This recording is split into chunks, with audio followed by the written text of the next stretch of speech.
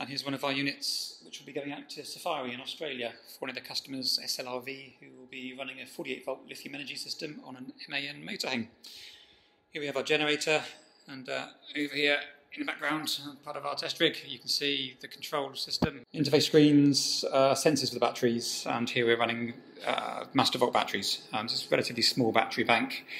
Uh, relatively fully charged at the moment as well, but uh, very similar to what will be going on the motorhome.